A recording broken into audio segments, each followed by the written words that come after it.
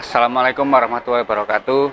Uh, saya Yudi Andrianto atau yang biasa dipanggil Andung mengucapkan banyak-banyak terima kasih kepada teman-teman angkatan 96 uh, atas bantuan doa, terus tenaga, pikiran, usulan, dan tentu saja materi atas terselenggaranya acara reuni perak yang akan diselenggarakan nanti tanggal 28 November tahun 2021 di Biwok Ndau Malang.